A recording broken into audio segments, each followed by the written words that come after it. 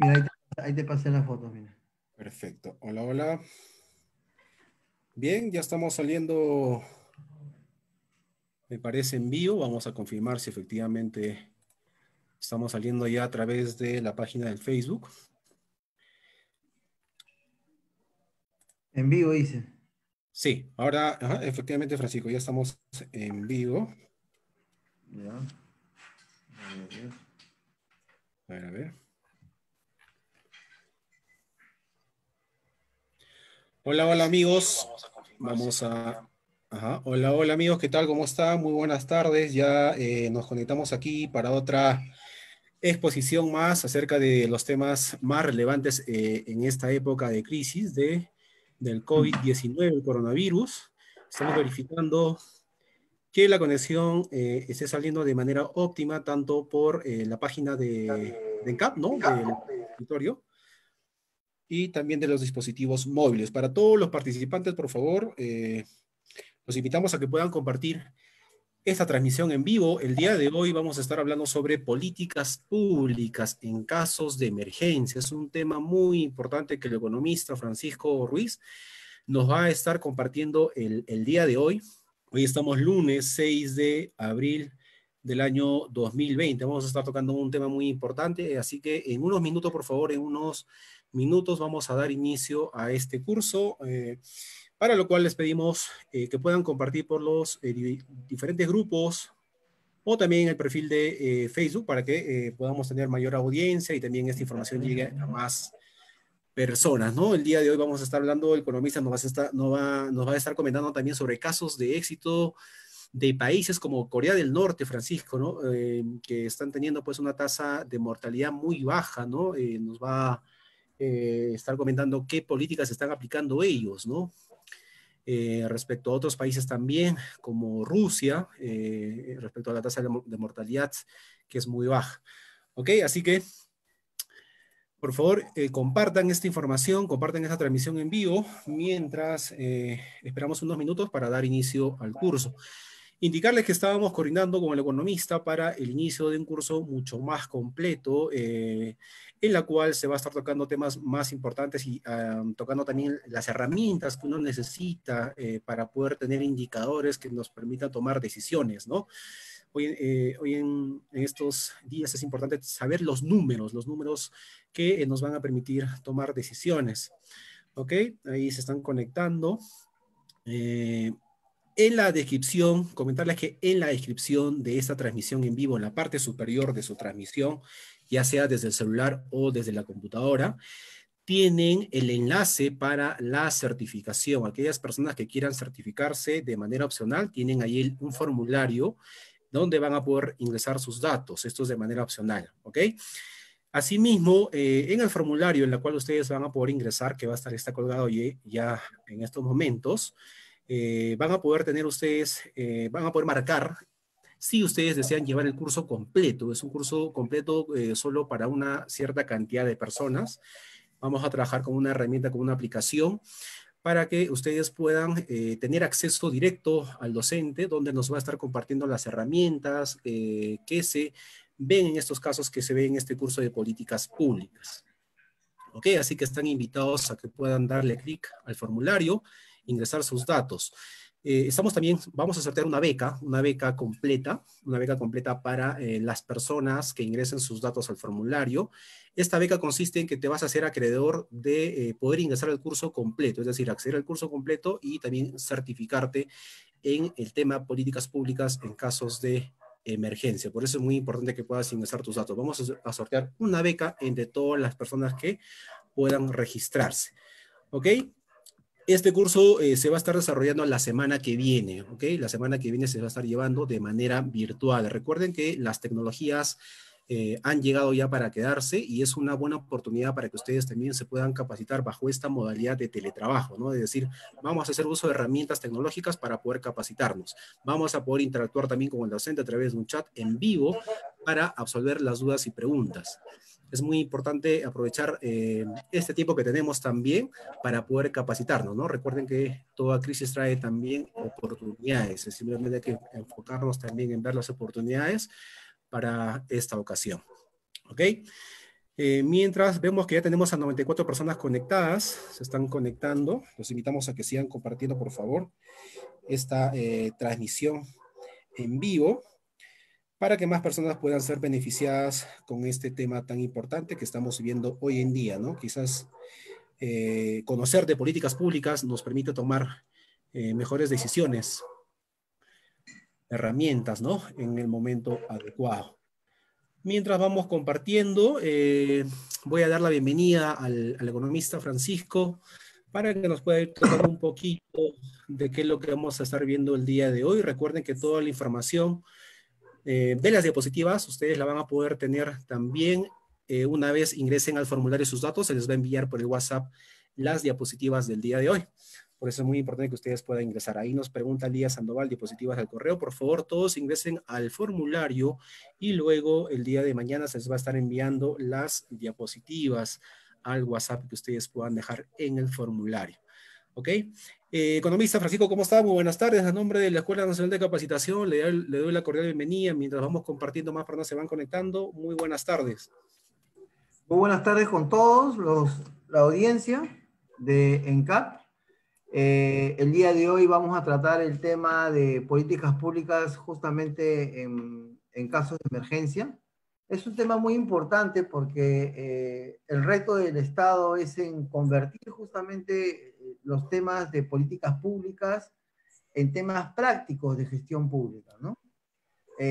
a través de una buena estrategia, ¿no? Muy importante es eso, ¿no? La aplicación de una muy buena estrategia, ¿no? Entonces, este, lo que vamos a mirar en las primeras láminas eh, nos va a permitir ver un esquema en el cual eh, se, ve de manera, de manera organizada eh, cómo, cómo, el Estado, a través de las instituciones, debería de implementar sus planes de acción ante, ante un tipo de intervención o un tipo de problema público, ¿no? o un tipo de emergencia, como es este caso, ¿no? Y vamos a dar un recorrido de, lo que viene haciendo el país, eh, que pareciera que no estuviera avanzando. He hecho un flujo ahí con el Visagi, con una herramienta que se usa en gestión de procesos, que nos va a permitir mirar un poco eh, eh, ese proceso, ¿no? Y, y, dar una mirada rápida a los urgencia que han comenzado a, que han comenzado a, a, salir y, y, que nos va a permitir pues este, entender y comprender cómo las políticas públicas con una buena estrategia ayudan a, o contribuyen a solucionar un problema público. En este caso es un problema mundial porque es una pandemia. Es un tema que no solamente está el Perú inmerso, ¿no? Vemos casos de países vecinos que están muy mal. Entonces es, momento de, que en el camino enmarcar. Y es muy importante las personas como nosotros que trabajamos directamente en el sector público, ya sea como servidor público, como funcionario público, como proveedor, conocer de estos temas que lo hemos dejado de lado, ¿no? Eh, eso, y de ahí mirar algunos casos de éxito y mirar también lo que el Perú está haciendo, ¿no? Eh, este, dentro de esta intervención. Y eh, también la idea es que todas las cosas que se van a hablar el día de hoy nosotros podamos después eh, trabajar con algunas herramientas, ¿no? Por ejemplo, les comento, ¿cómo tomamos decisiones? ¿Bajo qué criterios tomamos decisiones? ¿Cómo priorizamos? A veces si tenemos que hacer, supongamos, una obra pública, eh, pavimentación de calles, estamos en, en una provincia, ¿cómo decidimos qué calles hacer primero si los recursos no alcanzan? Entonces eso se llama una valoración multicriterio. Y el software que podríamos usar como el Total Decision, por ejemplo. ¿Cómo comenzamos? Ustedes han visto, ahora vamos a ver una lámina que, que, el Ministerio justamente de Salud a través de la Católica está comenzando a, a informar diariamente, estadísticamente, Entonces son, son lenguajes conductivos visuales que te permiten mm. poder, poder eh, que nos va a permitir a nosotros eh, llegar más rápido al entendimiento, ¿no? Y de una u otra forma va a permitir a nosotros, nos va a permitir a nosotros este, eh, mostrar, mostrar información y transformar datos en información y de manera visual. Para eso podríamos utilizar una herramienta como el tableau de público. Estas, estas herramientas son gratuitas y hay que utilizarlas dentro de la política y la gestión pública, ¿no? O podríamos también eh, ver, y algo muy importante, eh, que me interesaría comenzar a hacer la construcción de indicadores eh, pero aterrizando a un tablero de control de mando que te permita hacer un seguimiento y monitoreo dentro de la gestión pública, ¿no? que es muy importante. ¿no? Y, y, y, dejar de mirar las actividades para mirar resultados, que, es, que eso es el tema, ¿no? el tema de, de la cadena de valor, ¿no? La, la, nueva forma de la gestión para resultados. ¿no? A veces estos temas han salido de lado, pero coyunturalmente ahora se ve que estas cosas son muy importantes de conocerlas y utilizarlas.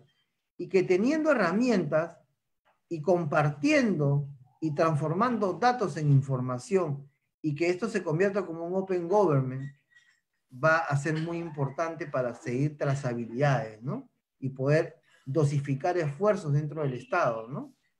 En las intervenciones, en la generación de generar bienestar al ciudadano, que es, que es, lo que se quiere.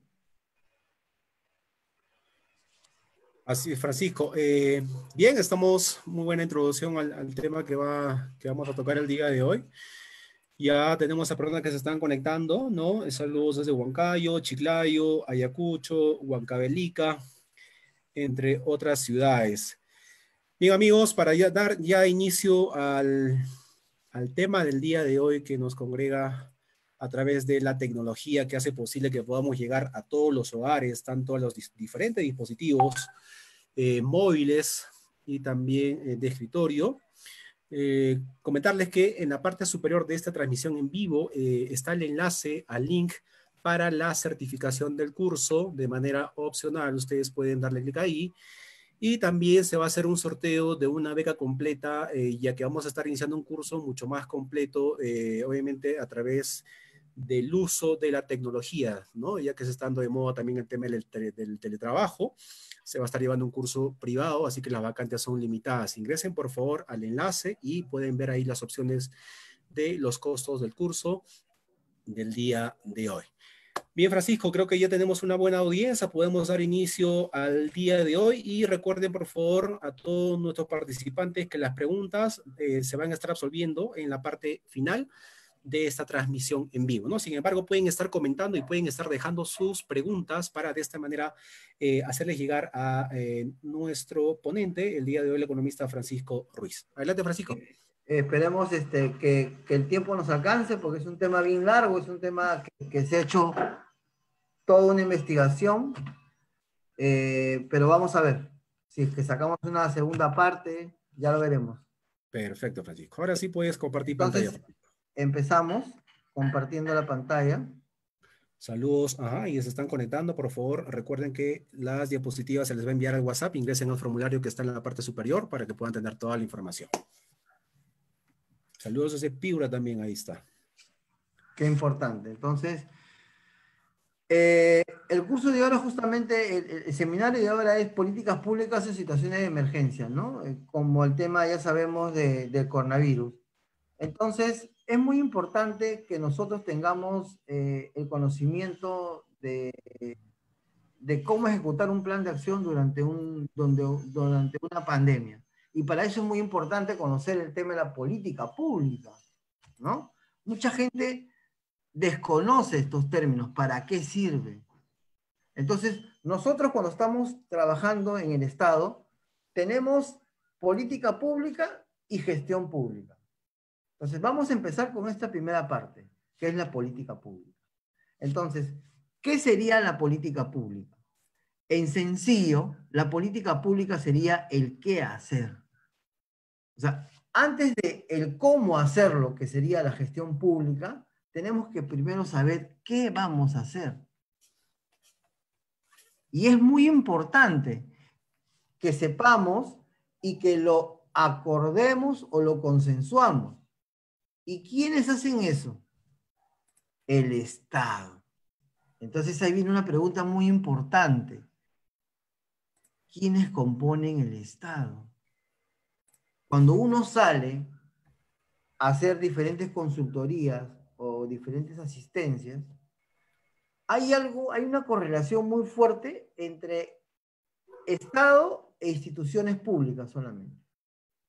Pero el Estado no es solamente la institución pública. El Estado también son las organizaciones privadas y el ciudadano. Y, es, y son ellos los que tienen que ponerse de acuerdo si es que es un problema público, es una necesidad pública o es una brecha la que se tiene que resolver. Eso es muy importante entenderlo. ¿Y qué sería la gestión pública entonces? La gestión pública sería el cómo hacerlo.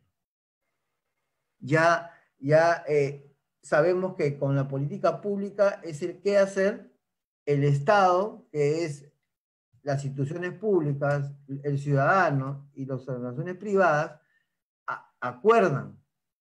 ¿En dónde acuerdan?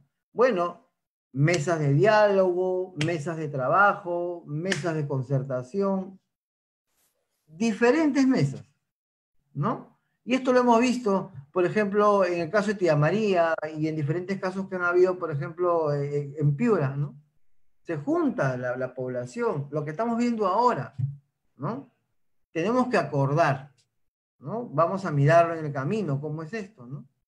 Los ciudadanos tenemos que hacer caso a lo que, a lo que se ha determinado las organizaciones privadas tienen que también poner de su parte. Ya estamos viendo que algunas instituciones están, condonando, bueno, no condonando, sino están dando facilidades eh, eh, eh, y el Estado está interviniendo, ¿no? A través de decretos supremos de urgencia y de intervenciones que vamos a ver durante el camino. Pero es, son, son tres actores muy importantes ¿no? Tres elementos muy importantes que tienen que llegar a acordar para saber si va a ser una política pública o va a ser una intervención directa. ¿En dónde lo hacen? Hemos dicho, mesas de diálogo, mesas de trabajo, mesas de concertación, los diferentes tipos de mesas que tú ves. ¿Ok? Y ese es un tema que más que más les compete a, los que han sido elegidos, ¿no? como gobernadores, como eh, presidente, congresistas, eh, regidores, concejales, ¿no? Por eso ellos tienen su semana de, de, qué, su semana de representación, para que ellos puedan ir justamente a mirar si hay un problema público, una necesidad pública o una brecha. Cuando ya se sabe eso, se sabe qué que, ese problema se va a convertir en una política pública, entonces empezamos nosotros a trazarnos objetivos para solucionar ese problema. ¿Ya? Eso es muy importante. Y eh, nos establecemos, nos establecemos eh, metas, ¿no? Esas metas tienen que estar asociadas justamente a esos objetivos para, poder, para, para que sean efectivas y que sean medibles. Eso es muy importante. ¿Ok? Tenemos que aprender a medir. Y no solamente medir actividades, medir resultados. ¿No? ¿Cómo se miden? Bueno, si estamos en la política pública, no vamos a medir actividades ni insumos. En la política pública vamos a tener que medir resultados o impactos, ¿no? Entre, entre lo que, qué resultados se están dando dentro de la mejora de la calidad de vida dentro de los ciudadanos que han sido intervenidos. Y en el impacto es en la comunidad en sí, ¿no? Con la población con la cual se ha intervenido y a los que no también. Y muy importante ponernos plazos.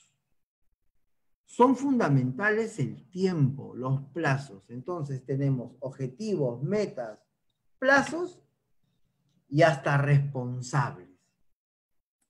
¿Ok? Ahí me podría decir, ya, pero tengo muchos problemas. ¿Sí? Pueden haber muchos problemas y tenemos que priorizar esos problemas. Perfecto. Puedo utilizar una valoración multicriterio, que, esas cosas en el curso que, que podemos desarrollar se explicarán diferentes herramientas. Ustedes conocen que existe una herramienta gratuita en donde podemos mirar diferentes tipos de mapas temáticos que nos sirven para tomar decisiones de multicriterio. Saiwite, ¿no? Ahora ha cambiado de nombre, pero una página oficial peruana con datos estadísticos que se necesitan y actuales y, veraces. Consulta amigable del MEF, consulta amigable de ese plan,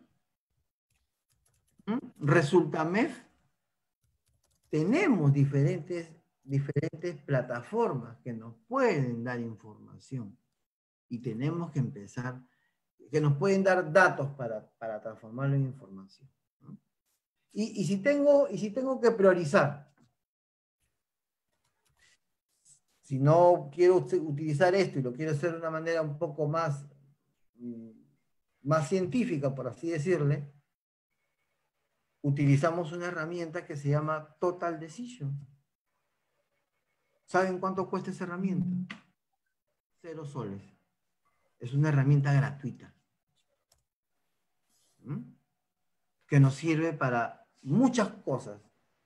Una de las cuales, poder priorizar. Entonces, esto es muy importante. Ya estamos viendo la política pública, que es el qué hacer y la gestión pública. Objetivos, metas, indicadores, plazos, responsables. Si hubieran preguntas, ustedes van escribiendo, al final lo consolidamos y comenzamos a contestar. En ese conocimiento de la política y la gestión pública para mantener, en este caso, los servicios sanitarios esenciales para ejecutar ese plan de acción en, este tema de coronavirus, es muy importante justamente conocer toda esta ruta, ¿no? Eh, que nos lleva hasta, hasta la entrada de la gestión pública. El tema de hoy es política pública. Pero nosotros para esa entrada tenemos que justamente generar estrategias, ¿no? un conjunto de reglas que, nos van a llevar a cumplir esos objetivos. Pero tenemos que tener en claro ciertas dimensiones al momento de hasta de, de, planificar, de hacer una planificación, un plan de acción. Ya vemos ahora el tema sistémico, ¿no? Multidimensional. Yo, yo, empezaría con lo multidimensional, que, es para hablar el caso real de ahora. El tema multidimensional es que tenemos que, que tener una visión social, ambiental y económica. Y muchos países que están sufriendo ahorita una tasa de mortalidad increíble, es porque han priorizado solamente lo económico. Tenemos que tener así, una trazabilidad entre los tres, ¿no? Por ejemplo, estos casos que se cayeron de Conga, Tía María, económicamente eran pero, pero quizás su, su, su, su EIA, su estudio de impacto ambiental, no era tan robusto o simplemente no comunicaron bien a la población, no hubo licencia social, el tejido social estaba muy débil. Entonces, descuidaron las variables de las multidimensiones. Recuerden, eso es parte de desarrollo sostenible. Una mirada económica, social y ambiental. No puedes mirar una sola, tienes que mirar las tres. Y eso vemos ahora. Muchos países dicen, no podemos parar más de 30, 40 días, es insostenible. Siguen pensando en un tema netamente económico. ¿No? Y vemos que el país durante estos años, por más ya sabemos lo que nos ha ocurrido con los últimos presidentes que hemos tenido, pero el BCR, al ser independiente, hemos podido como país tener ahorros. Y es momento en donde, en donde tienen esos ahorros verse de una manera en cómo llegar a la población, ¿no? Pero con intervenciones y estrategias eficaces y efectivas, ¿no? Entonces tenemos que tener lo multidimensional, tenemos que ver también dentro de este caso de ahora el tema del multinivel, o sea, la, coordina la articulación del gobierno nacional con el gobierno subnacional. ¿Por qué es importante eso, la articulación? Que hemos visto nosotros, que hemos visto nosotros al inicio. ¿Qué es lo que hemos visto nosotros al inicio? No sé si se acordarán ustedes, ¿no? Llegó el primer día, de la, el primer día del estado de, de emergencia y habían alcaldes que te cerraban las calles en Lima. No te dejaban entrar. En provincias, comuneros que te ponían piedras no querían que nadie se entre. O otros alcaldes que, estaban sacando personas que no deberían de salir para regar parques cuando no era necesario dentro de ese decreto de urgencia. Entonces, la falta de articulación. La articulación es muy importante dentro del paso de la política pública a la gestión pública. Otro tema muy importante es la intersectorialidad, la dosificación de esfuerzos comunes, y que ahora lo vamos a mirar, ¿no? Cuando sale a hablar el presidente, sale con su gabinete, con sus diferentes ministros, todos integrados bajo un mismo propósito. La dosificación de esfuerzos de acuerdo a intervenciones en sus competencias. Sistémico. ¿Por qué sistémico? Porque tu verdad no es una verdad absoluta. Grabémonos eso. Es una verdad relativa. Cada uno de diferentes aristas mira ese problema y la solución de ese problema. Entonces tenemos que tener un enfoque más holístico, por eso que tenemos que llegar a acuerdos, a concertaciones. Y otro tema también muy importante es la multidisciplina, lo multidisciplinario. Son cosas que ya se han estado hablando, pero no se, se, han, se han internalizado para poder aplicarlo. Lo multidisciplinario. Esto no lo salva solamente un economista, un administrador, un financista, un político, un militar. La multidisciplina. Acá, acá desde un inicio han tenido que venir, intervenir, ¿quiénes? Los biólogos, los epidemiólogos, la gente que conoce estos temas.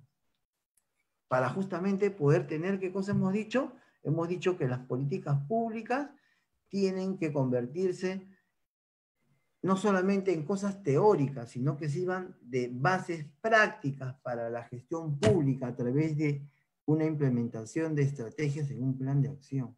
Entonces, lo multidisciplinario es muy importante. Miren, todos estos pasos, los multiniveles, que nos va a ayudar. Y el enfoque territorial.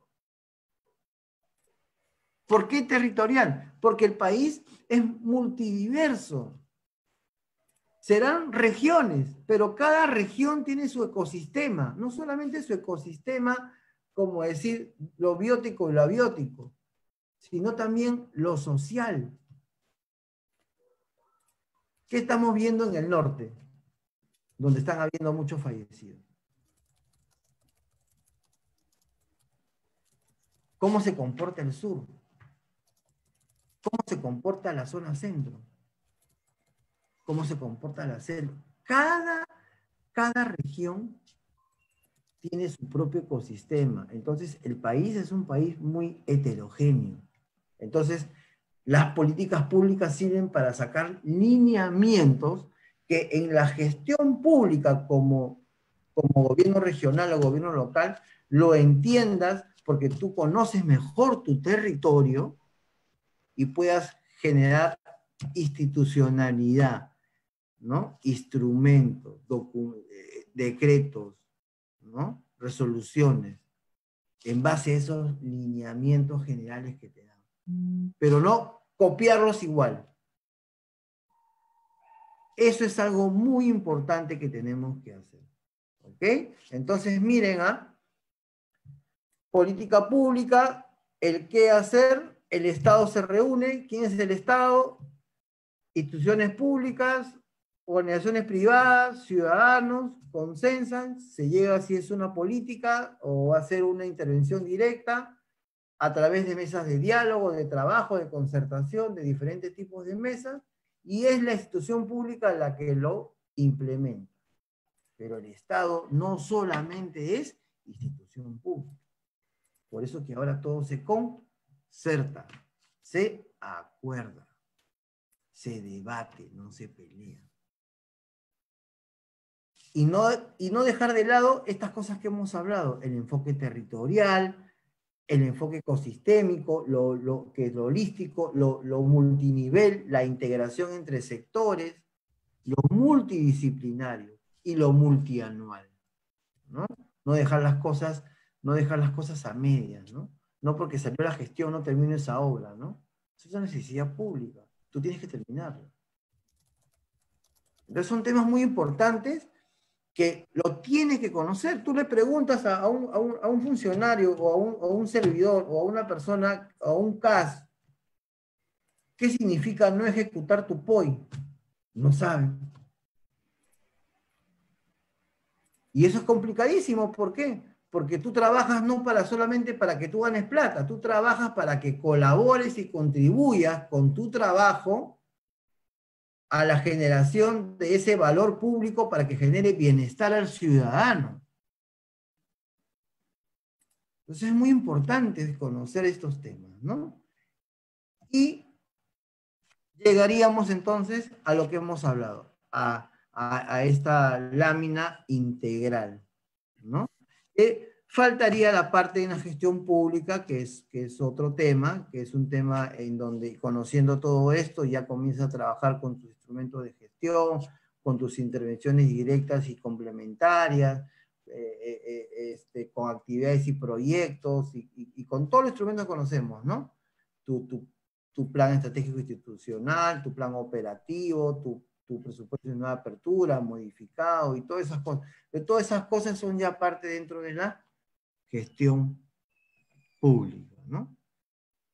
Si hubiera preguntas hasta ahí, por favor, háganlas llegar eh, ya para que lo puedan sistematizar y nosotros tengamos un diálogo, porque, porque hay gente de Huancayo, gente de, Piura, gente de Ica, gente de todos lados. Y, y, todos estamos en la gestión pública o todos estamos padeciendo estos temas pero cada región tiene su comportamiento. ¿no? Pero estas cosas son muy importantes porque te van a dar todo una línea. Es, como un recorrido lo que ustedes están viendo. Yo sé que muchos de ustedes lo conocen, pero, pero acá hay como ya, ya una forma de cómo debería de implementar. Hagan sus preguntas. Ahí también este, eh, y, para hacer esto podríamos utilizar una herramienta que se llama eh, Manager, por ejemplo, que te permite hacer seguimiento, monitoreo, este, eh, mides plazos, prioridades, este, avances y terminas en un GAN, por ejemplo. acompañado de tu tablero de control, ¿no? Este sería más gerencial y un, y un tablero de control que lo podrías trabajar bueno, en un Excel intermedio, podrías trabajarlo en un Power Pivot, si es que no quieres llegar a un Power BI, o tablo de Public, que es el cual yo uso, y es gratuito. Las preguntas las vamos a dejar hasta el final y vamos a seguir avanzando, ¿no? Entonces, este, bueno, qué bueno, cada vez tenemos, tenemos mucho más audiencia eso también nos, motiva a seguir, a seguir avanzando. Así es, Francisco. Eh, están comentando, perdón que te corte, eh, sí, eh, los invitamos a que si tienen alguna pregunta, pueden ya estar escribiendo en los comentarios de esta transmisión y al finalizar se estará respondiendo, ¿no? Muchos también preguntan sobre las diapositivas de la exposición. Recuerden que en la transmisión en vivo, en la parte superior, hay un enlace, un link que les va a llevar un formulario. Tienen que dejar sus datos e inmediatamente van a poder recibir y descargar el material. Las diapositivas ya están colgadas para que ustedes la puedan descargar, ¿ok? Reingresen al enlace, al link y eh, van a poder descargar el material. Continuamos, Francisco. Continuamos. Entonces, ya hemos hablado sobre esta parte, ¿no? ¿Qué son las políticas públicas? Es el Estado que debe partir por definir objetivos claros que reflejen las prioridades del país, las prioridades del país, no de, no de un grupo, ¿no? Tienen que ser problemas públicos, no problemas de un grupo. Para poder justamente eh, eh, eh, hacerlo efectivo de una manera articulada, ¿no? Y que, y que guarden coherencia con, lo que, con lo que el gobierno de turno eh, quiere aplicar y también como las necesidades del país, como, como ya lo sabemos con, ese, con el plan bicentenario, ¿no? Y las entidades públicas este, recogen esos, eh, ya hemos hablado estas partes a través de estas mesas y son los que lo, lo llevan, ¿no? Y, lo, y, y lo, y, y ya lo hacen una política pública, ¿no? Entonces, este, es muy importante tener claro esto, ya lo habíamos explicado con otra lámina, pero como ustedes van a, los que se escriban van a descargar, acá pueden tener un poco más de definición, en el otro sí un poco más conectivo visual para dar a entender algo, algo mucho más articulado y coherente. ¿no?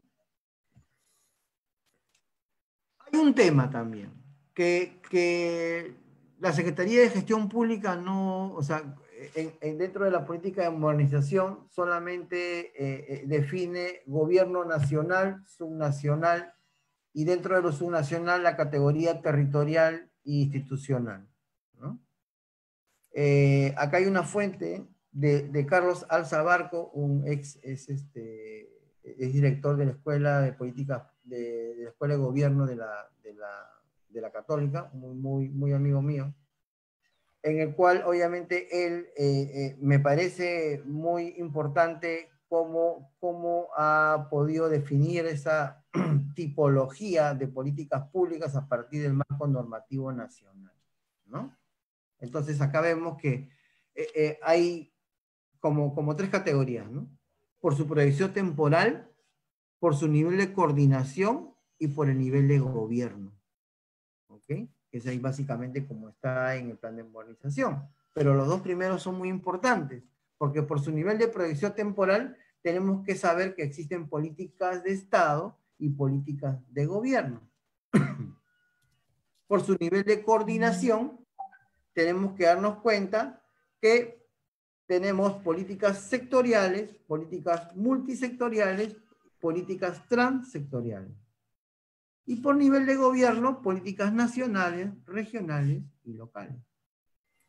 Siguiendo, siguiendo esta, esta tipología, bajo esta categorización de temporalidad, de coordinación y de nivel de gobierno,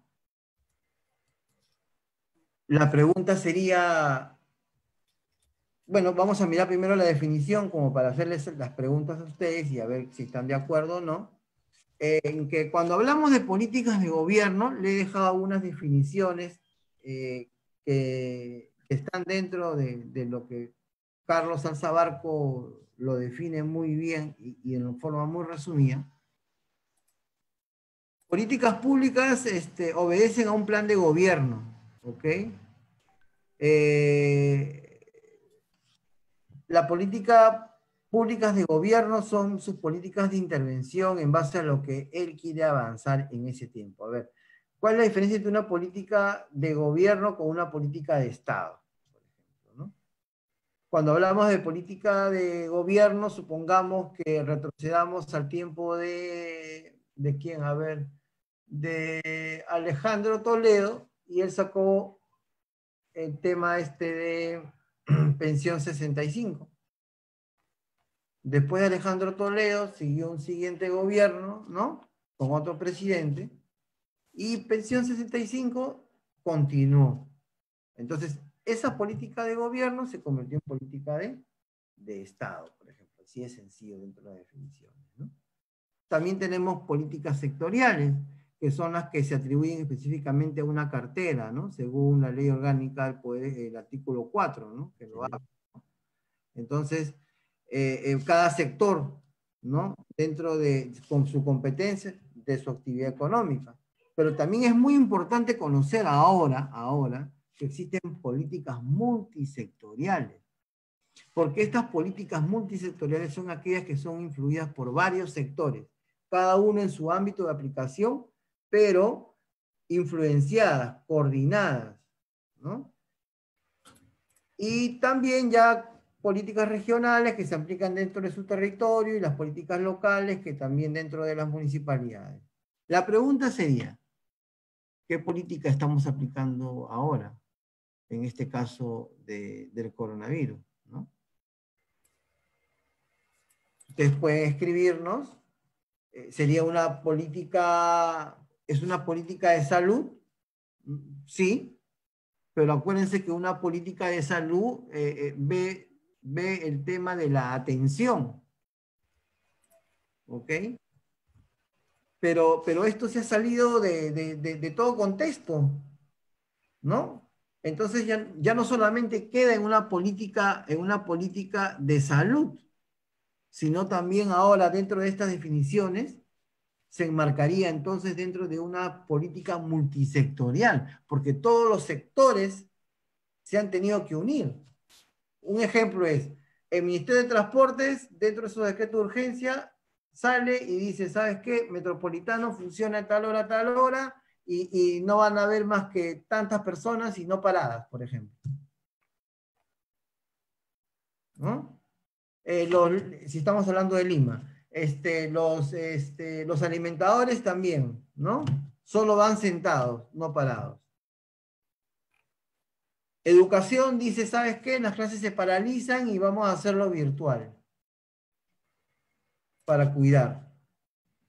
La fiscalía está ahí trabajando con, con, con, los militares y, con, la, policía, con el Ministerio Interior y Defensa para poder justamente velar por, por todo lo que se cumpla. ¿no? Entonces, vemos que no solamente queda una política pública de salud, eso es lo que yo quiero que ustedes entiendan, sino también entramos a las políticas multisectoriales, pero seguimos dentro del nivel nacional. Entonces tenemos que articular también las políticas regionales, porque las regiones tienen que, que venir a conversar, aquí a hablar, porque no es posible que, se esté, que ahorita, bueno, Lima concentra la mayor cantidad de, gente que está con, con, el, virus, pero en límites en límite de frontera, en el norte, básicamente los que se han muerto por trazabilidad es gente que está en la línea de frontera.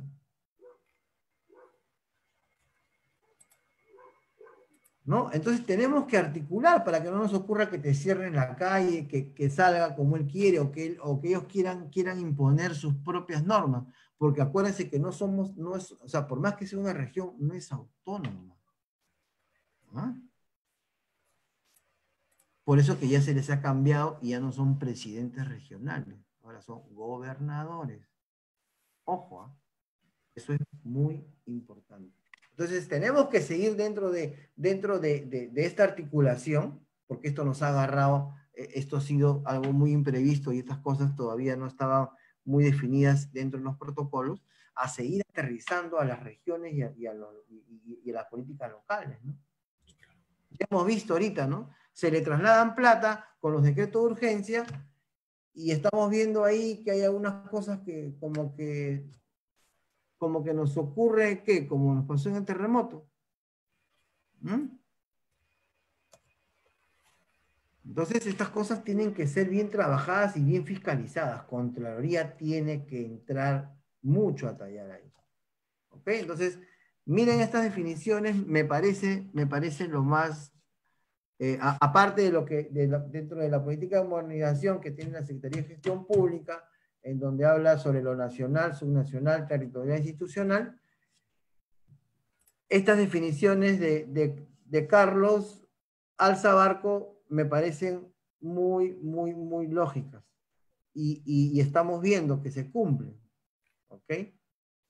Políticas en el tema de salud, ¿sí? Salud está trabajando con todos estos temas para poder brindar la atención a las personas que, que, que, tengan el, coronavirus, ¿no? Brindar este, prevención pero con eso no solamente se acaba, tiene que haber toda una política multisectorial para que todos los sectores en su competencia podamos unirnos y poder combatir y poder bajar esa, esa curva, ¿no? Que no queremos que, llegue a ser exponencial como en otros países.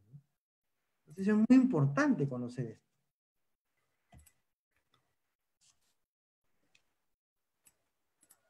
Dentro de este conocimiento es muy importante conocer el tema de la cadena de valor público.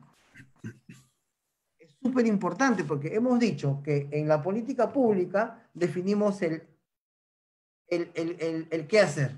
Entonces, si ustedes miran esta imagen que está aquí, sacada de, ese plan, porque trae al tema en, lo que estamos viviendo en este momento, los ciudadanos demandan, y ya sabemos qué demandan, ¿no? Demandan tres cosas, ¿no? O, demandan un, o sea, o, problemas, o, este, o brechas, o necesidades, ¿no? Entonces tenemos que resolver problemas, cubrir necesidades y cerrar esas brechas, ¿no? Y, en este momento los ciudadanos demandan, demandan, y, es el Estado, como ya sabemos que se acuerdan, la que lo convierte en una política pública, sea de Estado o de gobierno, o también puede ser una intervención directa, como en este caso, y es ahí donde entra en todo el tema de la gestión pública, por eso que ahí es donde se trata el tema de la cadena de valor público. Y mucha gente no lo entiende.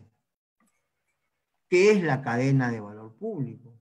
Es una, es, es una forma, una forma que nos permite ejecutar el gasto para convertirlo en algo eficiente, que realmente contribuye al bienestar del ciudadano. ¿no? Y tiene obviamente dentro de, esa cadena sus eslabones, ¿no? Insumos, actividades, productos, resultados, eh, impactos, ahora se está viendo resultados iniciales, resultados finales. Y todo el sistema administrativo, que es la parte de abajo, sirven de apoyo, o sea, logística, administración, este, eh, eh, eh, presupuesto, para, presupuesto para certificar rápido, administración con logística para poder comprar los insumos rápidamente, este, eh, eh, legal para que no salgas dentro de esas, de esas intervenciones, ¿no? Entonces eso, eso, es muy, eso, eso es muy importante. Entonces vemos cómo, cómo la gente demanda la política pública, viene un sistema eh, administrativo que dan soporte, ¿no? Y se cumple con el tema de la cadena de valor. Entonces yo ahí ya no voy a decir, oye, voy a, ¿para qué voy a comprar medicamentos? ¿Para qué voy a contratar médicos? ¿Qué es lo que está pasando ahora? Enfermeros, equipamiento. ¿Por qué están contratando médicos? Porque la mayoría de los médicos que son nombrados ya tienen más de 60 años. Entonces, si tú tienes mil, mil médicos, tienes ahorita 500, porque los demás son vulnerables. Entonces tú tienes que contratar médicos.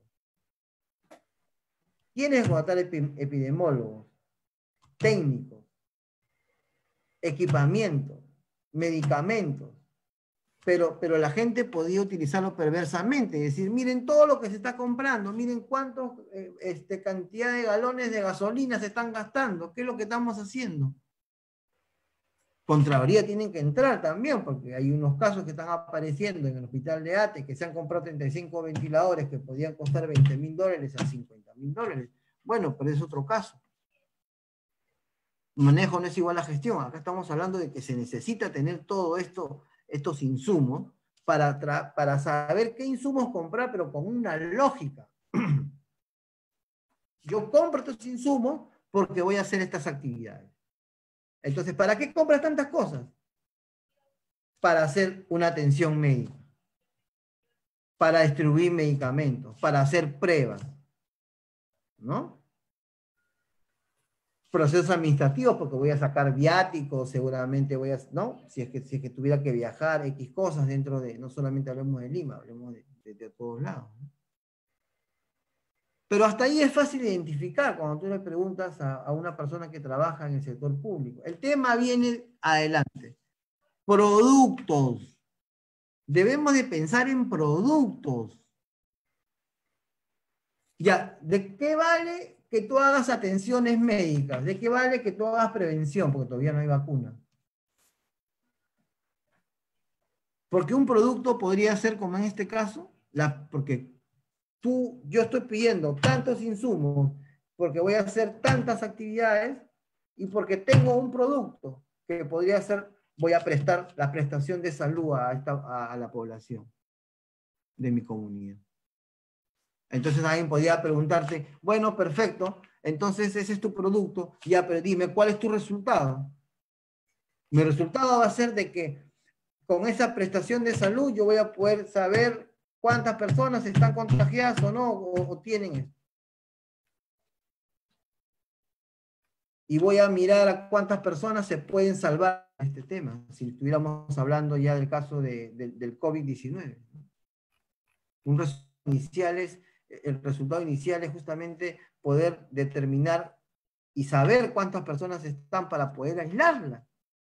Y el resultado final es mejorarles su, salvarles y mejorar su calidad de vida, porque de todas maneras ellos van a, van a tener problemas, eh, este, ¿cómo, es? Fibrosis, ¿no? O sea, su, su, pulmón un poco se le puede dañar. Entonces, de esta manera, ¿quién, quién te va a reclamar en decir, yo contratar tantos médicos, necesito tantas hojas, necesito tanto combustible, porque le estoy dando toda una lógica si tú no me dejas comprar tantos insumos, yo no puedo hacer estas actividades y por ende no, no logro hacer estos productos y no logro estos resultados.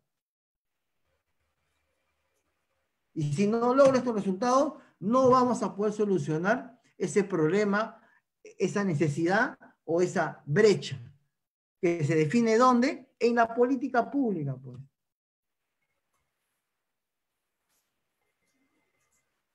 Y cuando en teoría todo eso se cumple, esa, esa demanda de ciudadanos ya salen ciudadanos satisfechos. ¿No? Entonces eso es muy importante también conocer. Si hubieran preguntas, por favor, escríbanlo. Es muy importante, ¿no? Eh, porque deben haber muchas personas aquí que están este, trabajadas, involucradas dentro de la, dentro de la, de la, de, la gestión pública. Entonces es muy importante que, que, conozcan sobre, sobre, estos, sobre, sobre, estos temas, ¿no?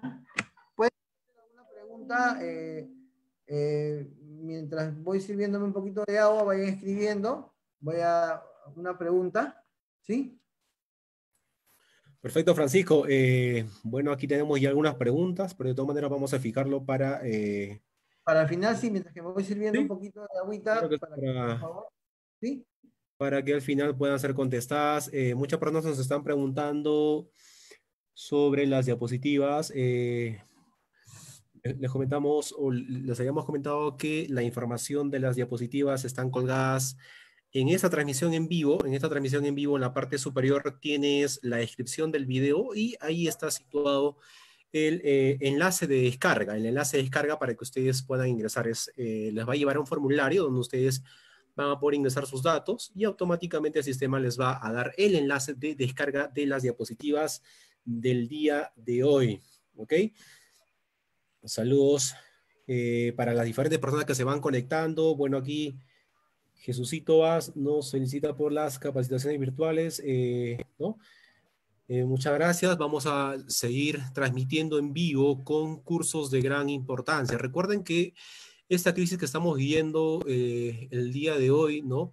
No solo afecta al Perú, sino que está afectando también a nivel mundial a diferentes países. Y la forma de trabajar, la forma de estudiar en diferentes sectores está cambiando, ¿no? Eh, vamos a estar viendo también temas sobre el teletrabajo, es decir, las nuevas formas eh, que se van a estar implementando para poder trabajar desde casa, para poder estudiar, para poder eh, las empresas contratar a personas, diferentes herramientas que hoy en día debemos de dominar, como es el caso que estamos haciendo el día de hoy. Estamos usando una aplicación, una herramienta que nos permite transmitir en vivo, ¿no? En este caso, Francisco está en la ciudad de Lima y nosotros estamos en otra ciudad y estamos haciendo posible que esta conexión llegue a todos los lugares, a todas las ciudades y ustedes están conectados desde los dispositivos móviles, desde diferentes dispositivos y de esta manera nos vamos capacitando, ¿no? Vamos a estar también hablando sobre recursos humanos, diferentes temas, así que... Eh, si ustedes tienen algún tema de gran interés que se quiera tocar también en estos días que vamos a estar transmitiendo en vivo, pueden comentar eh, en, los comentarios de esta transmisión en vivo, ¿no? Algún curso de gran interés, ¿ya? Algún curso de gran interés. Recuerden que también hemos habilitado un curso gratuito sobre residente de obras públicas. Solo ingresen al Facebook de ENCAP y busquen ahí en las publicaciones.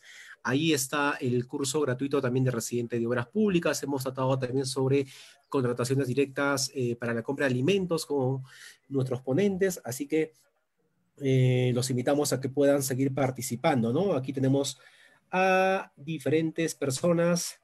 Eh, Hilda eh, Pérez nos hace una pregunta, no te preocupes Hilda, al final de la exposición vamos a estar respondiendo tu pregunta, ¿ok? Muchas gracias a todas las personas, participen por favor, es una buena oportunidad el, tema que estamos tocando el día de hoy, que es políticas públicas, ¿no? Dentro de la gestión pública. No es el primer caso que, quizás podamos vivir aquí en Perú, sino que posiblemente más adelante se eh, puedan venir eh, escenarios similares, ¿no? Eh, cortito nada más, el caso de Corea del Norte está respondiendo, está respondiendo bien al tema del coronavirus, es decir, su tasa de mortalidad es baja debido a que ellos ya han pasado por una situación similar y por eso que ya tienen conocimiento de ello y por eso que están respondiendo a ello, ¿no? Eh, Francisco también nos va a estar comentando sobre esos temas. Por eso es importante capacitarnos, ¿no? Capacitarnos y manejar las herramientas para poder saber cómo actuar en este tipo de situaciones. Bien, Francisco, continuamos. Continuamos, es muy importante también, podemos seguir, como conversamos en un momento, el siguiente curso, habíamos, podríamos abrir varios cursos, podríamos ver un tema de la gestión para resultados, que es cómo aplicar todo esto, indicadores. Ustedes, ustedes escríbanos qué es, lo que, qué es lo que les interesaría, herramientas también, es muy importante, ¿no? Eh, conocer todas estas herramientas que ya deberían de implementarse en la gestión y en la política pública, ¿no? Porque, eh, ¿cómo hacemos? Esos trabajos, ¿no? ¿Cómo, cómo seguimos? ¿no? Es muy importante. Continuamos entonces. ¿Alguien, podría decirnos, o alguien les podría decir a ustedes, cómo se relaciona la cadena de valor público con las políticas públicas y la gestión pública? Bueno, en este gráfico ustedes pueden verlo. Cuando hablamos de gestión pública, entonces estamos hablando de insumos, actividades y, y productos, pero productos hasta donde lo elaboramos, no hasta donde lo entregamos. Por eso que tú ves una línea intermedia. Entonces, ahí estamos hablando dentro del sector público. En la política pública ya estamos viendo lo que le entregamos a la sociedad. Entonces ahí estamos hablando de los productos que se entregan, de los resultados y de los impactos. Entonces, eso es muy importante. Hay relación. ¿no? Obviamente que, en un curso mucho más completo se explica bien esto para que en el momento que tú tengas tu exposición, tú puedas decir por qué es importante manejar un POI, un PI, un PDC, ¿no? Una, programación multinacional de inversiones, ¿dónde entraría dentro de todo esto? Es muy importante eso. A ver, aquí es algo algo muy importante que es lo que, se, que, es lo que conversábamos, ¿no? A veces muchos piensan que no estamos haciendo nada, que, esto, que, que, el país, este, que el gobierno de turno eh, se demora. Pero ustedes saben qué es lo que se tiene que hacer ante un caso de, de crisis sanitaria? ¿Ustedes se han puesto a pensar qué es eso? En este flujo se los voy a, se los voy a explicar. Primero, cuando llega el primer infectado, ¿no? El portador, es donde, se, es donde reúnen al comité, al comité de emergencia. Entonces, ese comité de emergencia que ya está creado en diferentes sectores, en este caso le tocó a salud, es el ministro de salud quien los convoca a este comité de emergencia. Y este comité de emergencia tiene que elaborar primero todo un informe y sustento eh, para que se pueda oficializar la necesidad de la aplicación del estado de emergencia. Ese es el decreto supremo 08. Eso no es un trabajo de una hora.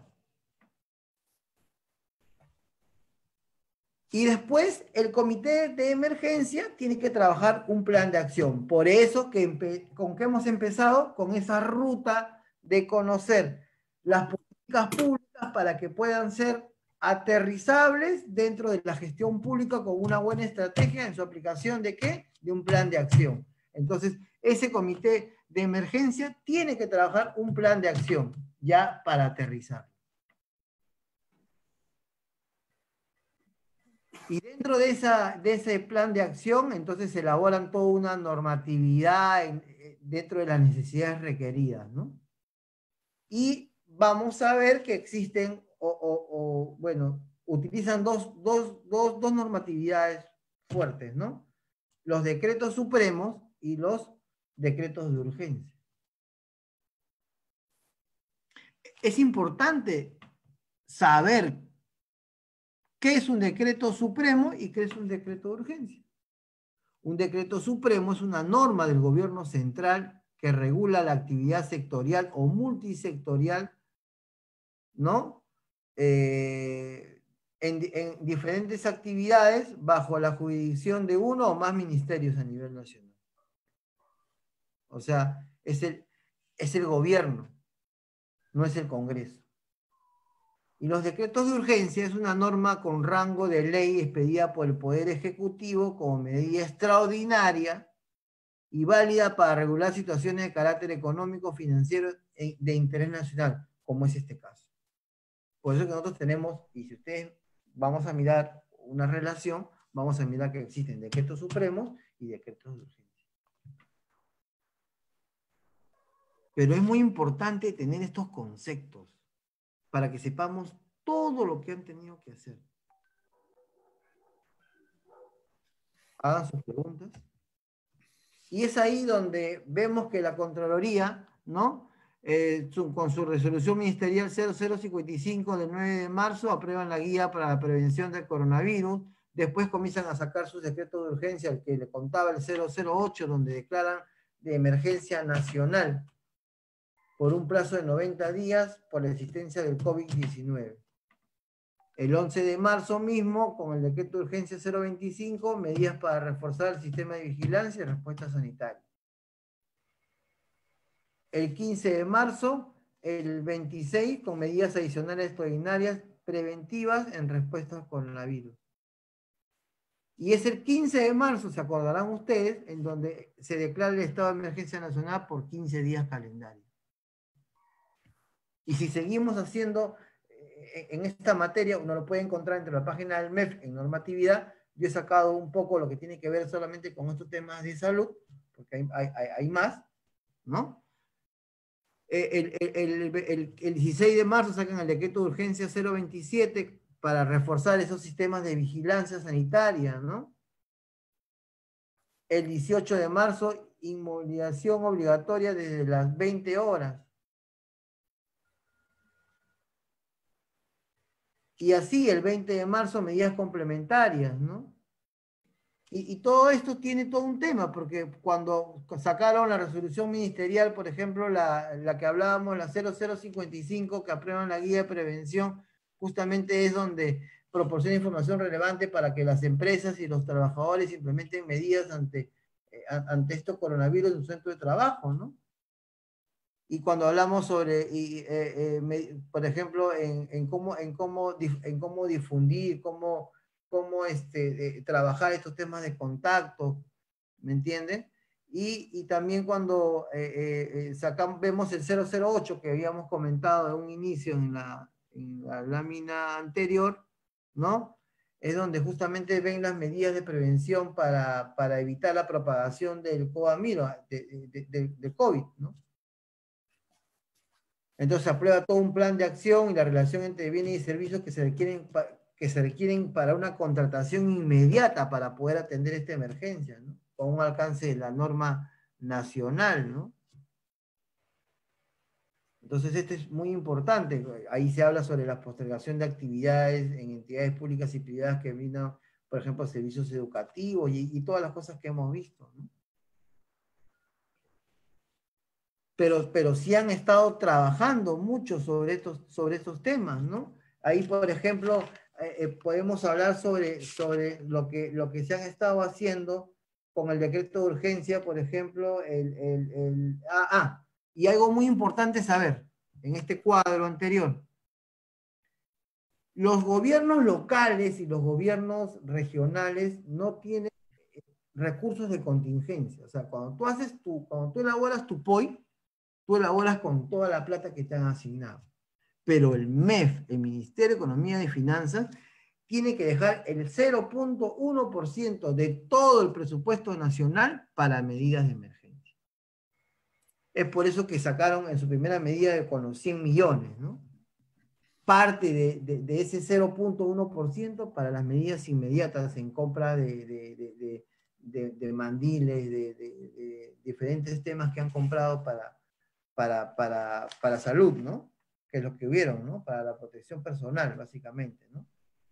Eh, y para que las regiones hagan compras, ¿no?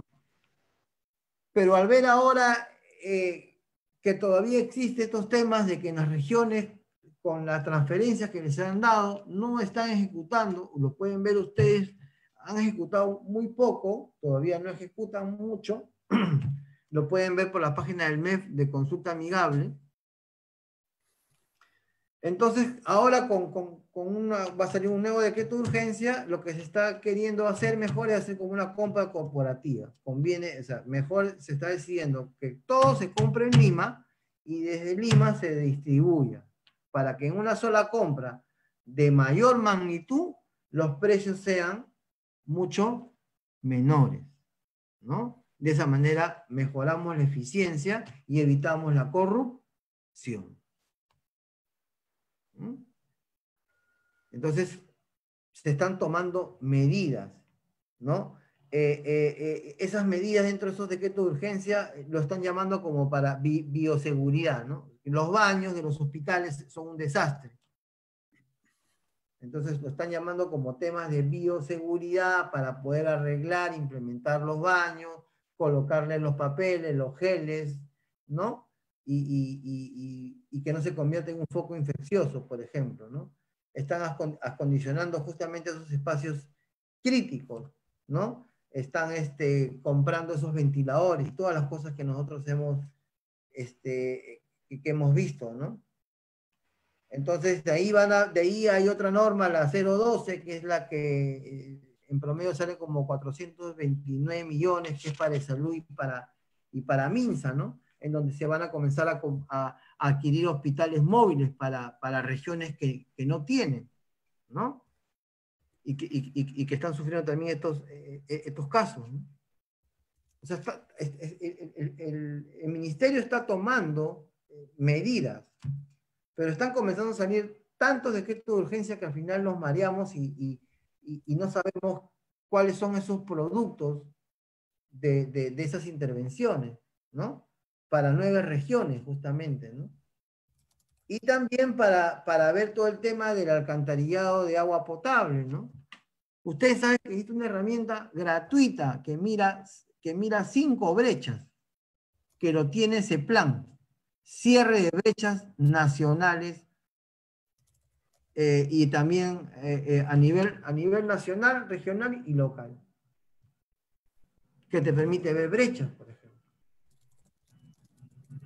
Porque hay que condicionar los colegios. Pero todo eso pidiéndole permiso al comité de emergencia. Entonces, acá faltan protocolos, eso es cierto. No hemos entendido muy bien las cosas no aplicamos muy bien la gestión, eh, lo, que, lo, que, se le conoce eh, eh, la gestión por procesos. Es una estrategia, no es solamente gestión de procesos, hacer un macro. Hacer una tabla ASMEA, hacer un TUPA.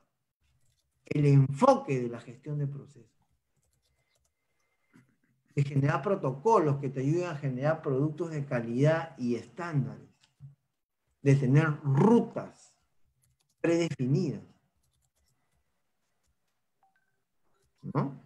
Entonces es muy importante que nosotros, que nosotros conozcamos. Y el tema de la integración también que se está haciendo con todos estos decretos de urgencia, ¿no? Porque acá también hay hospitales, hay hospitales de la FAB, de, la Marina, del Ejército, que también están sufriendo. Estamos viendo que, están muriendo este, personas, también ya, ya policías, ¿no?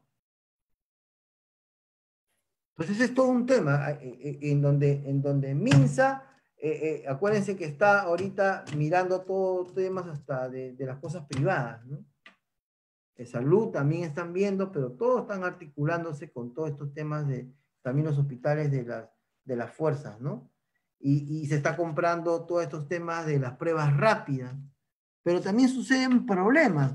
Por ejemplo, eh, eh, eh, conversando y viendo, y viendo todos estos temas de, de, las...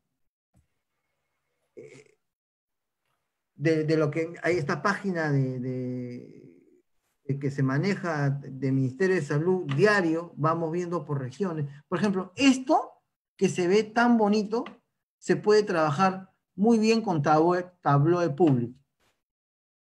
Se puede trabajar con Power Pivot, con Power BI.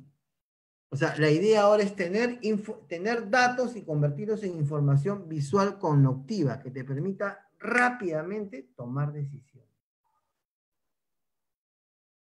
Ese es parte de un, curso que queremos sacar aquí con, con ENCAP también, ¿no? el, usar herramientas que te permitan trabajar información, ponte de Excel, de datos y transformarlos en cosas visuales, que te van permitiendo mirar cuántas pruebas coronavirus hay, en dónde están, tú puedes picar cada región, ver, ver la cantidad de hombres y mujeres de mortalidad o de infectados para mirar cómo van, ¿no? Entonces esto es muy importante. Y otra cosa que ha ocurrido, que como les decía, este, al, tener mucho personal ya vulnerable, eh, eh, eh, médicos, se han tenido que sacar fondos para contratar personal, para contratar médicos, como vemos en esa cadena de valor pero, pero están renunciando por los sueldos y porque, y porque les están mandando mandiles, pero sí, pero cuando tú encuentras un infectado, eso tienes que desecharlo.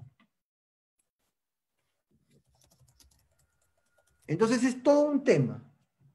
Pero el país está invirtiendo mucho más que, que otros países de la región en porcentaje de su PBI.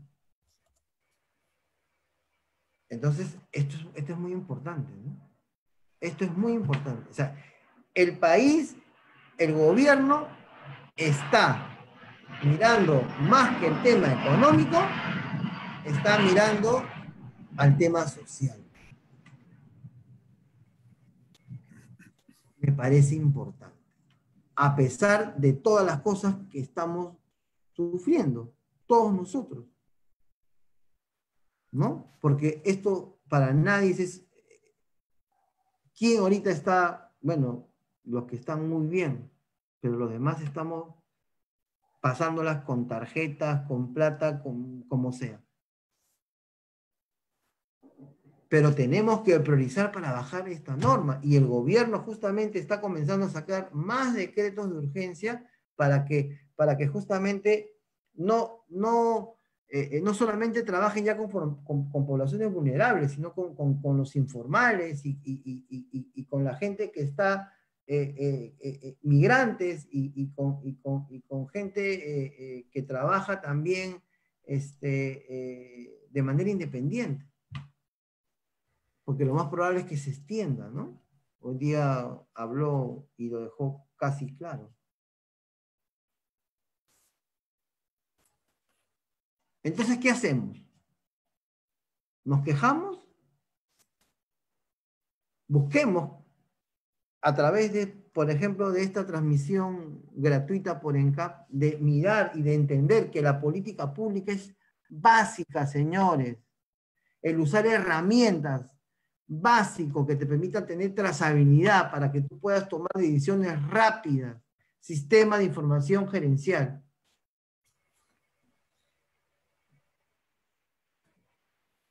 ¿Qué entiendes tú más rápido? ¿Un cuadro con cuatro diagramas o un en Excel? Porque todo esto está trabajado en Excel, pero de una manera cognitiva visual. Eso es tablo de público, por ejemplo. ¿Mm?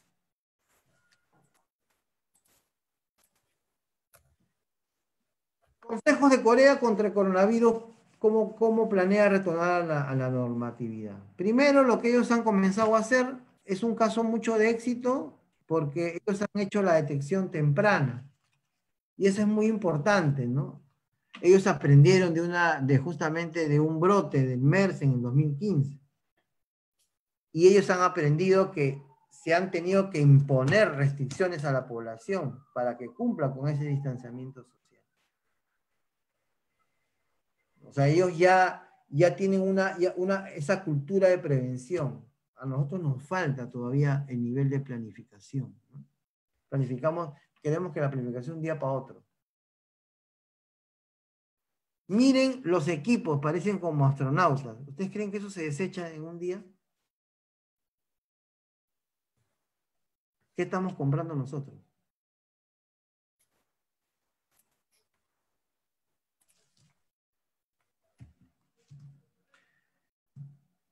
En Corea no están usando el tema solamente de, la atención rápida porque tiene muchas fallas, sino están viendo lo que, está, lo que estamos sacando acá, usar las pruebas moleculares también.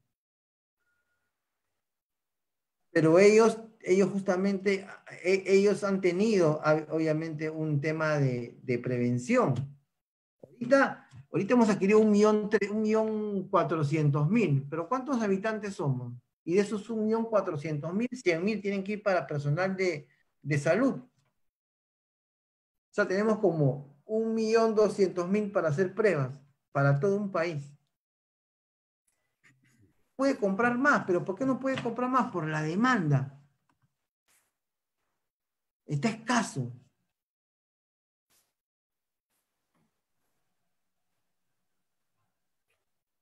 Pero Corea, Corea ha usado esto y ha usado innovación, algo, algo muy importante que también vamos a mirar. Los sistemas de pruebas le permiten a Corea empezar a controlar la propagación de virus sin necesidad de decretar un confinamiento absoluto. Miren la diferencia. Están usando tecnología, celulares, rastreo, pero ojo, cuidando la información también privada, ¿no? Pero rápidamente con el celular. Persona que está infectada, trazabilidad inmediata. Redes, análisis de redes sociales. Eso no es solamente Facebook, es análisis de, los, los, sociólogos, los antropólogos, eh, eh, conocen mucho de esos temas. Ahí se utiliza una herramienta que se llama NetDraw, NetDraw para mirar redes, ¿no? o Usenet. Y, si no tienes esas herramientas para poder mirarlas, justamente lo que ellos están haciendo, el uso de la tecnología, los celulares.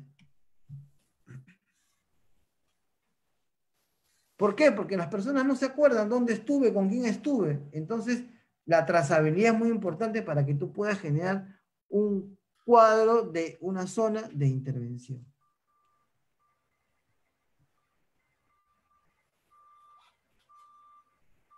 ellos tienen equipamientos médicos, tenían una reserva y lo implementaron. Pero miren la diferencia. ¿Mm? Y, cuando, y cuando les ha faltado, han priorizado la cultura de la priorización. No, el peruano más unidos que nunca. Te vas a un supermercado y te llevas todo. Y no le dejas nada al otro. Somos unidos. ¿Mm?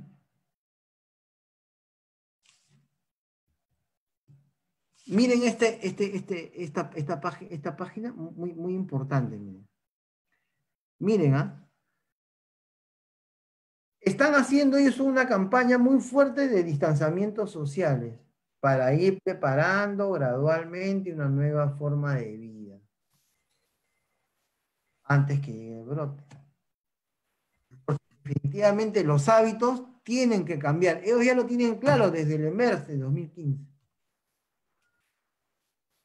Pero miren cómo ellos han implementado salas de cine con carros.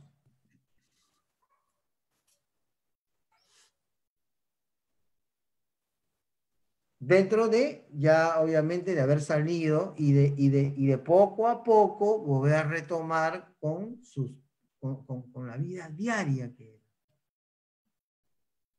Esa que tanto nos quejamos y que ahora la extrañamos. Entonces ese mensaje que vemos también ahora en televisión aquí, ¿no? Esos bombardeos subliminales, ¿no? Pero ellos ya tienen claro de, que va a haber una nueva vida para ellos. Tendrán que adaptarse a una nueva vida. Porque esto es una pandemia y no sabemos qué más vendrán a futuro.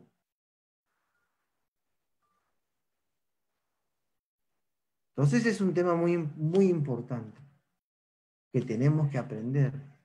Ellos, por ejemplo, tienen, no, he encontrado fotos, creo que lo siguiente, no he, encontrado más fotos, pero por ejemplo, ellos tienen unas zonas así como, como cuando tú te, cuando, como cuando tú vas a la, a, la, este, a la piscina y, y, no primero te, te, metes como un pequeño baño y de ahí ya te puedes meter.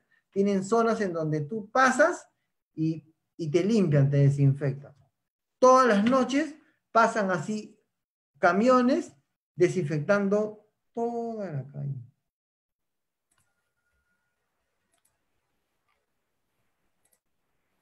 Aprendamos de eso. Hemos aprendido cosas, ¿ah? estamos haciendo cosas como las que vienen, como aprendiendo en casa. Es un paliativo, no es una solución. Ya lo han dicho, porque no estamos preparados todavía para eso, porque justamente hemos hablado en la primera parte de lo territorial, los ecosistemas. El territorio es muy heterogéneo. Entonces yo puedo estar acá escuchando una transmisión en vivo, pero si yo estuviera, por ejemplo, lo que son, lo que son eh, paisanos míos de Ayacucho, estuviera en Puquio, en Pauca de Sarazara,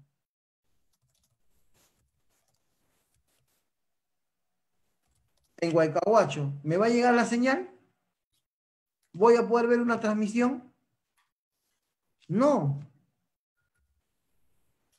Es por eso que dentro de todos estos temas ellos han visto la articulación que hablábamos, ¿no? Y, estamos utilizando la televisión abierta como Canal 7 y también la radio. Pero deberían de unirse muchos más canales. Otra cosa importante este aprendiendo en casa, bueno, al principio todavía va a ser como un, eh, no, no temas tan, tan de fondo, ¿no? Eh, lo que se quiere con esto es que obviamente este, el, alumno no sufra con, extender más sus estudios, no los estresen, pero también el uso de que se va a sacar en 10 lenguas originarias y en lenguaje de señas. Entonces estamos hablando también de inclusión.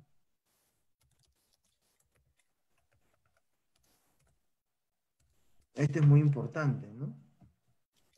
Esto es un tipo outsourcing, diría yo, pero no, tan, no tanto así como lo hizo Corea, porque Corea te ponía hasta, hasta identificadores ahí para que sepan dónde te movías, y si tú te movías le pasaba al policía, y, él sabía dónde tú estabas. O sea, ellos han aplicado otra cosa, pero dentro de eso, dentro de ese outsourcing, dentro de ese eh, eh, eh, copiar de lo mejor para adaptarlo, más que copiar, este, mirar lo mejor para adaptarlo, hemos sacado una herramienta que por ahora yo le he querido mirar en mi iPhone y todavía no hay, no lo han sacado para iPhone, pero sí hay para Android, que es puesta en marcha Perú, ¿no?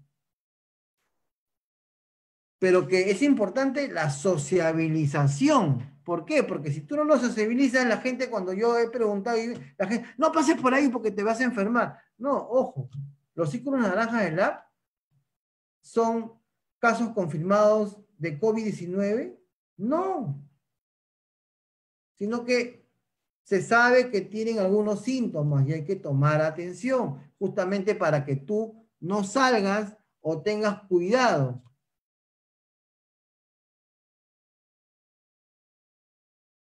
Se trata de mirar, te hacen preguntas, primero pasas para que puedas entrar a todo esto, es un filtro de preguntas para poder ver si tienes alguno de estos síntomas. Y, y no estar y no estar, pues, este, eh, eh, ¿cómo es la palabra? Diríamos, este, eh, em, congestionando la, línea, ¿no? La línea 113, ¿no? Hay una, línea que, se mira todos estos temas, ¿no? Entonces acá se está, se está comenzando justamente, justamente a, a poder mirar esos temas, ¿no? que es muy importante. ¿no? Esto es un tema a nivel mundial muy importante, ¿no? Mientras que eh, en, otros países, por ejemplo, como Las Vegas, este, eh, o como la Plaza de Hielo de Madrid, que lo están usando para, que, para poner a los muertos, ¿no? Nosotros más bien estamos usando la Plaza de Toros para, para poder tener una casa de todos para los refugiados, por ejemplo. ¿no? Hay un tema también muy importante que, me ha faltado, es que hay tanta información, hay mucha información. Por ejemplo, eh, México también, al igual que Rusia, que, que, hablaba, eh, que hablaba acá justamente, eh, ellos han implementado una... No tengo, no tengo el nombre ahorita a la mano pero también así como, como, como, como unas zonas eh, eh, para, para, limpieza, ¿no? Si es, que, si es que te agarra el toque de queda, entonces yo paso por una zona en donde, en donde este, me, limpio para poder yo poder entrar a, estos sitios de, de, refugio, por ejemplo. Entonces sí estamos haciendo cosas, ¿no? Y esto se va a, y esto se va a replicar Hemos puesto eh, justamente el hospital de Vitarte, ¿no? que, se, va a replicar en otras regiones, porque, son móviles, se, van a... Eh, para estos casos, ¿no? A diferencia del centro de, aislamiento de la vía deportiva de, de Vía El Salvador, ¿no? Este, acá sí se están llevando solamente a los pacientes ya que tienen tema de COVID-19, ¿no? Y se cuenta con 150 eh, eh, eh, camas para poder atender. Siguiendo un poco la, ruta, ¿no? Y no estar pasando lo que, lo que da pena. Si ustedes miran videos, cómo están pasando a la gente en Ecuador. Están tirando a sus muertos en la calle. Es horrible. Es una pena.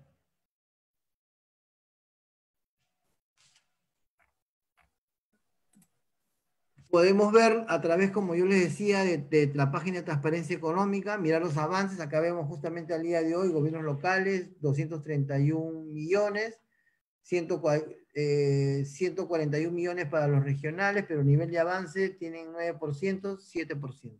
Ese es el problema. Ese es el problema.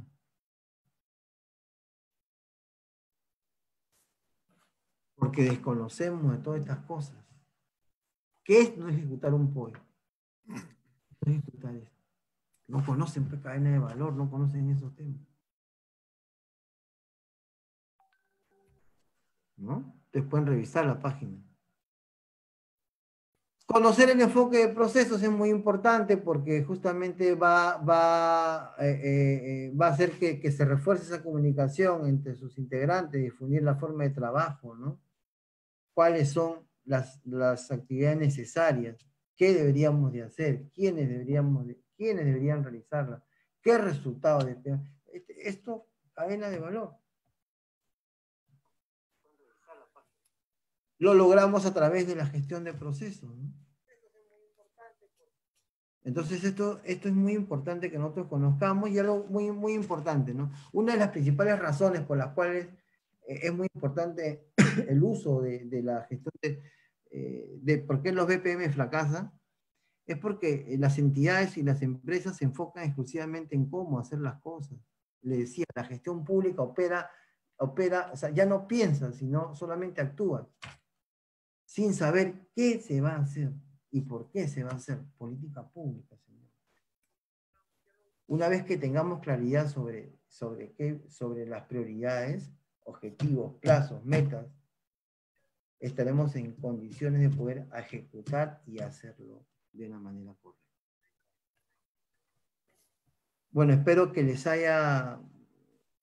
Nos hemos extendido un poquito más de, de, lo que el tiempo era, pero creo que era necesario poder terminar eh, todas las diapositivas que, que, ustedes al momento de, de, escribirse en el formulario lo van a poder tener. Y podemos pasar a una ronda de preguntas. Francisco, eh, qué importante la información que nos acabas de, de proporcionar sobre eh, el tema de las políticas públicas, ¿no? Obviamente si tú tienes mucha información, si tienes la información valiosa, vas a poder tomar mejores decisiones y vas a poder actuar, ¿cierto? Y qué mejor que con las herramientas que nos nos has estado compartiendo el día de hoy en las láminas. Importante también quería destacar la, esta aplicación ¿no? eh, que ha hecho el gobierno peruano acerca de eh, la aplicación se llama Perú en tus manos, ¿no? que obviamente nos podría pues ayudar justamente en la descripción que aquí han puesto para la descarga de esta aplicación, que nos permite conocer las zonas de riesgo, ¿no? Para que las podamos evitar en la medida de las posibilidades. Muy importante ¿no? Si todos ingresamos datos, todos ingresamos y descargamos esto, entonces vamos a poder conocer las zonas de, de, riesgo, además que también nos va a permitir o nos está permitiendo hacer una autoevaluación para saber si estamos en riesgos de haber contraído, ¿no? Pero para... ojo, ojo, uh -huh. zonas de riesgo, no son zonas de contagio. Exacto.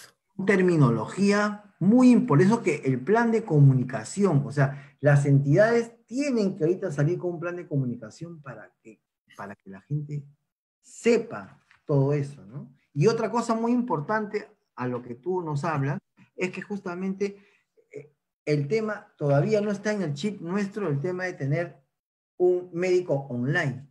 ¿Qué hacer ante eso? Eso también es algo muy importante, los cambios de paradigma. Podría, eh, podría ser una propuesta del gobierno que en este caso pues eh, se puede implementar esa tecnología, ¿no? Es decir, hacer una consulta tal cual estamos haciendo esta clase, mediante diferentes herramientas como Skype, que son gratuitas, poder conectarnos con eh, doctores que puedan estar detrás de la pantalla y poder hacerles las consultas respectivas eh, para no saturar las líneas que ya están disponibles, ¿no? Que podrían ser otros mecanismos también de ayuda. Para que no salgas. Hay gente que no puede salir. Exacto. Estás contagiando con tu ruta. Y para que si ellos determinan que eres un potencial, bueno, puedan tomar medidas y realmente ahí ir. Entonces somos más eficientes. Esta aplicación que mencionaste de Corea del Norte, la aplicación, ¿no? Eh, acerca de la geolocalización que han implementado en su aplicación, es decir, o sea, es decir, traza una vez que eh, la persona ha, ha, ingresado los datos y está pues eh, infectada con el coronavirus, el Estado puede, puede trazar, como mencionabas, o puede ver las rutas, es decir, por dónde te estás moviendo en tiempo real, ¿no? ¿Qué y por dónde te moviste, y por dónde te moviste también. Exacto, qué importante sería eh, eh, realizar este, esta aplicación, ¿no? He ahí, he ahí, Francisco, justo la importancia de la tecnología que hoy en día está teniendo en nuestras vidas, porque obviamente teniendo esa aplicación, de todas maneras, ayudaría bastante, ¿no? Poder rastrear y poder saber dónde están los focos eh, específicos, ¿no? Exactamente.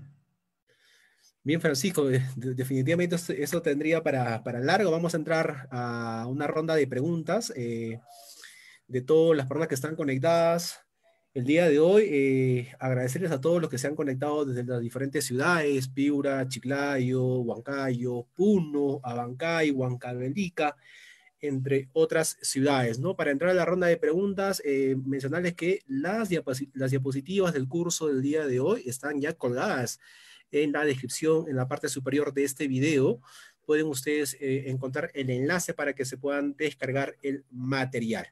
A ver, Francisco, vamos con una información, o perdón, con unas preguntas. Sí. Eh, eh, bueno, ya estábamos hablando justo de eso, ¿no? Oscar Carrillo nos dice, ¿no? Sería un buen mecanismo que se pueda hacer consultas online y poder así atendernos frente a todo esto de una manera muy rápida, ¿no? Es, justamente lo que hablamos, pero el tema de paradigma. Mucha gente no, no, todavía no está en su chip, ¿no? Médico en niño. Exacto. Y yo creo que con quiere ver lo físico. Él quiere ver lo físico. Exacto, ¿no? Y yo creo que con esto, Francisco, que está pasando, eh, muchas de las personas van a tener que verse eh, en la obligación de eh, cambiar ese paradigma, ese chip, ¿no? Un cambio de mentalidad, un lavado de cerebro, como se dice, para poder aceptar eh, las nuevas tecnologías que ya son parte de nuestra vida, porque con todo lo que se está viviendo, definitivamente todas las empresas van a estar apostando por el tema también del, trabajo que estábamos comentando, ¿no? Exactamente. Bien, aquí otra pregunta. Eh, Raúl Montalbán dice, Estados Unidos está comprando a cuatro o cinco veces su valor de productos en el mercado global y en efectivo para el COVID-19. En este caso, ¿cuál es su comentario respecto a los órganos de control? Costos, costo altos por necesidad. Es que justamente ahí tiene, ahí tiene que, intervenir la, Contraloría a través de su... Ellos, ellos tienen todo un tema de eh, una comisión, eh, la palabra es, eh, me, la, he olvidado ahorita, ellos tienen un,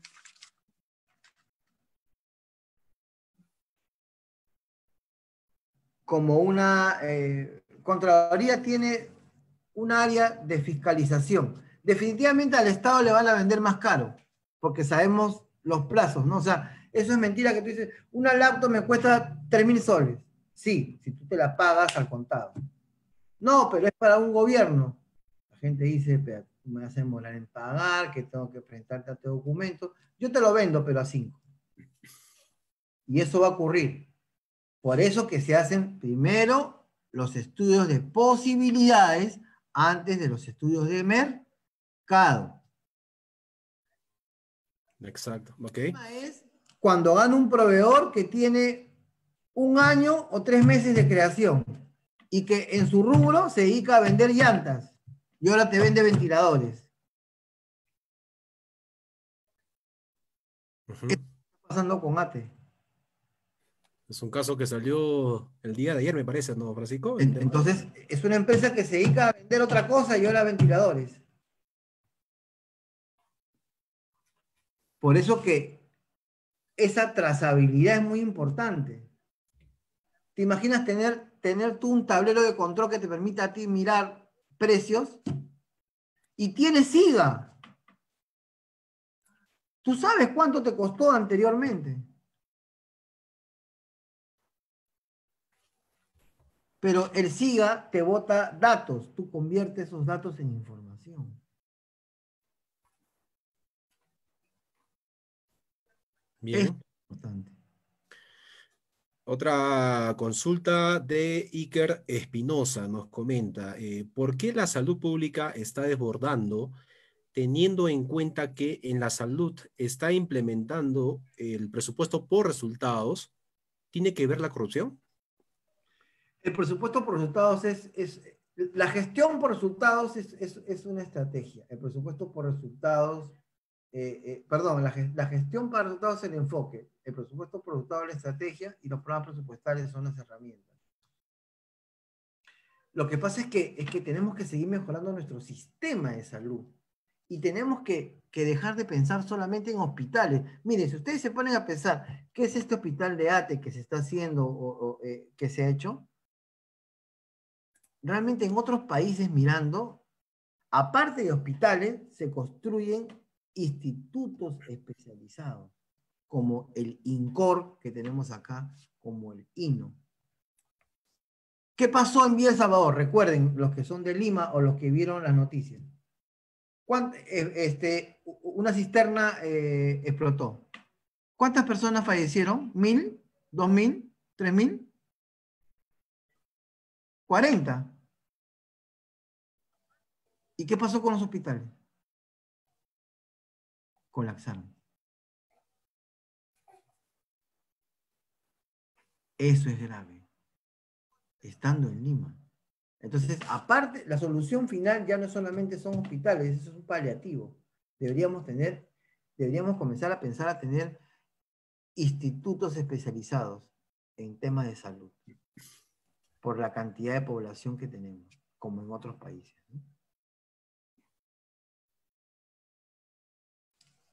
¿Hay otra pregunta adicional? Eh, sí, a ver, de Juan Rojas tenemos la pregunta de ¿cuál es la diferencia entre plan de acción e intervención?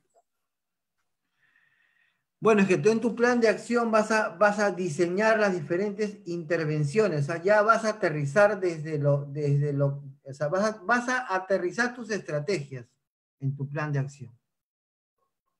Y con la intervención ya son tus actividades que vas a cumplir tu POI, por eso que ese plan busca la articulación entre el POI con el PI. ¿No? Actividades relacionadas con productos y con condiciones de cambio.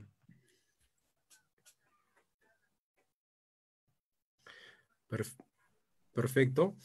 Eh, aquí Juan Chuquivilca nos pregunta, ¿no? De algo que estábamos ya comentando.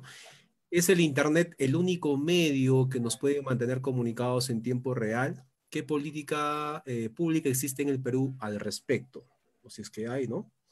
Nosotros tenemos el tema del Open Government, ¿no? El gobierno abierto. Tenemos información de, muchas, eh, de muchos datos, de mucha información, ¿no?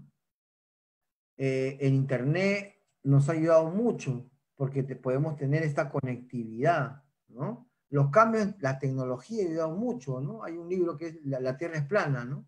Yo hoy día estoy cuando era coordinador del programa presupuestal 0035 Ministerio de Economía y Finanzas, hoy día estaba en Cusco y, en la tarde tenía a veces que estar, a veces tenía que estar en Arequipa y de ahí tenía que irme a Piura. O sea, la, Tierra es plana, se comienza a acercar, la conectividad te hace, te hace estar ahorita hablando con gente de diferentes zonas. El Internet ayuda mucho. Por eso que hay zonas smart, ¿no? San Borja es un ejemplo de ello, ¿no? Que quiere convertirse, que quiere convertirse en, una ciudad smart, inteligente, con conectividad total, en espacios públicos, obviamente, ¿no? Para no interferir dentro de lo privado. Pero, pero tenemos la televisión satelital, este, eh, de Canal 7, ¿no? Satelital. hay diferentes medios que nos deben de ayudar en las diferentes realidades. Acuérdense que cuando, estamos, cuando nosotros estamos en la sierra, yo que he trabajado muchos años allá, ¿qué vemos más? ¿Televisión, internet o radio? Escuchamos radio. La gente cuando va al campo, ¿qué se lleva? Sí, se lleva su celular, pero no de última gama, su radio. Entonces, las realidades son distintas. Hay que saber qué diferentes tecnologías tenemos que usar para poder llegar a la población que queramos.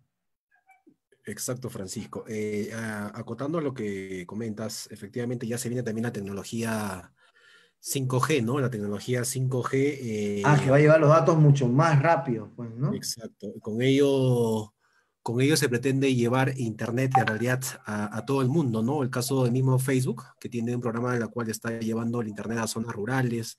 Ahora tenemos, también tenemos la opción de, tener Internet satelital, así como tienes el cable satelital con estos platos, también hay empresas que ya están brindando este servicio. Entonces, todo se está digitalizando. Se viene también el tema del dinero electrónico, donde el dinero físico va a desaparecer. O sea, es una eh, serie de cosas que se vienen realmente, ¿no?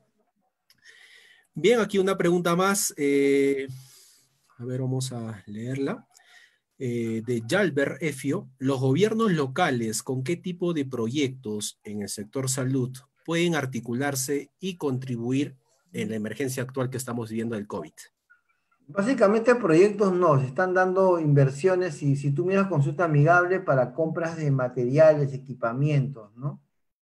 Este es un tema nacional, ¿no? No, no, con, con, la plata que tengo uno local no va a poder construir una, un, hospital tipo 1, tipo 2. ¿no? Eso de otras competencias, ¿no? Lo que se le está transfiriendo para conocimiento de sus realidades, para comprar equipamientos personal para que pueda trabajar dentro de su, eh, dentro de su localidad, ¿no? Si ustedes miran, eh, ¿podemos compartir? ¿Puedo compartir pantalla? Sí, sí, claro que sí, Francisco. Eh, a ver, voy a compartir pantalla, digo, a ver acá, dejo de compartir esto y digo comparto pantalla, ¿no?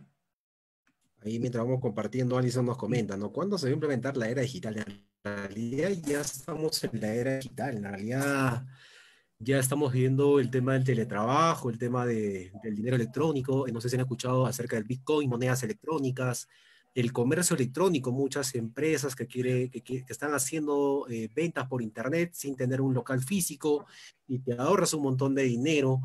En realidad, eh, todo esto que se está viviendo eh, simplemente es agilizar todo lo que ya se venía, lo que ya se venía en estos tiempos, en estos años que, que ya se estaba haciendo diferentes planes, ¿no? Simplemente se está adelantando con todo ese tema de la, de, de la crisis que estamos viviendo, ¿no?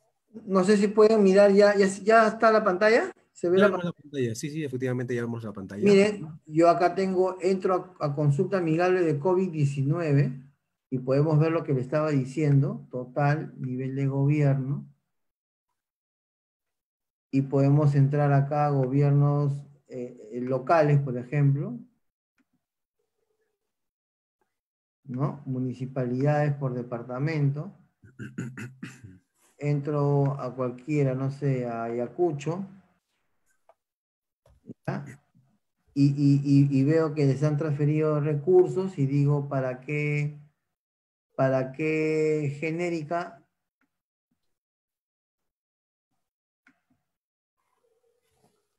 Para bienes y servicios, entro a su genérica, para compra de bienes y contratación de servicios, básicamente compra de bienes, entramos a su genérica de gasto y vemos para alimentos, combustibles, materiales, repuestos, accesorios, básicamente equipos médicos, básicamente cosas complementarias, no para construir.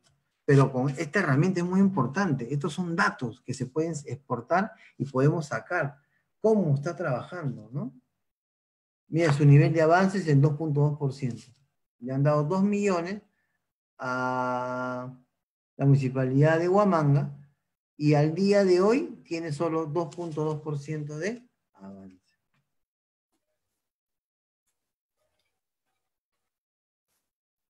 Entonces esta página es muy importante. En el curso se podía trabajar con esto y trabajarlo y transformarlo en información para convertirlo justamente en algo conectivo visual como esos mapas. Exacto, Francisco. Bien, eh, de, todas maneras eh, son diferentes eh, temas que se podrían tocar en horas de horas, ¿no? Luego aquí eh, Luis nos comenta algo también que es digno de rescatar. Nos menciona que es evidente que ahora eh, el Estado y nuestras autoridades ¿no? están tomando conciencia y evidenciando en carne propia que la educación y la salud son temas de, de gran importancia, ¿no? Definitivamente eh, ayudaría, ayuda bastante que un país sea mucho más educado, que maneje más herramientas y de esta manera poder afrontar con mayores, con mayores decisiones, ¿no? Francisco, eh, queremos hacer la invitación a, a, todos los que están conectados y toda la audiencia al curso, al curso justamente que estábamos promoviendo al inicio de la exposición, que es un curso mucho más completo donde se va a tocar eh, las políticas públicas de una manera mucho más extensa, tocando herramientas, que es lo más importante eh, para este curso, ¿no? Herramientas de actualidad. Em, así que todos están invitados a que puedan participar.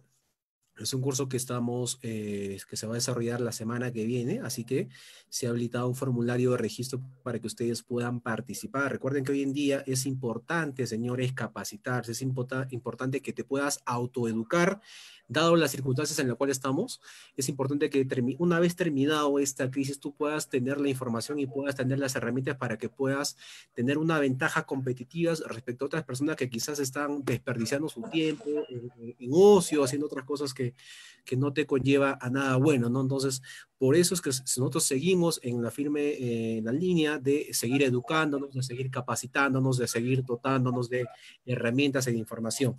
Es por ello que estamos habilitando este curso eh, con el economista Francisco la semana que viene, así que tienen un formulario ustedes en la parte superior de este video, donde pueden ahí eh, dejar sus datos y los asesores de la Escuela Nacional se van a contactar con ustedes para que les puedan brindar más información acerca del temario que se va a tocar en este curso. ¿Cómo se va a desarrollar? Es la pregunta de muchas personas. Eh, se va a desarrollar de manera virtual, tal cual estamos haciendo esta transmisión con diferentes herramientas que ustedes también van a poder manejar en su trabajo, ¿no? Herramientas que nos permiten hacer conexiones a través de Facebook Live, de YouTube Live, y eh, poder eh, tener eh, que ustedes también puedan interactuar con el docente, puedan hacer todas las preguntas y qué mejor que con, que con las casuísticas del caso. Así que están invitados.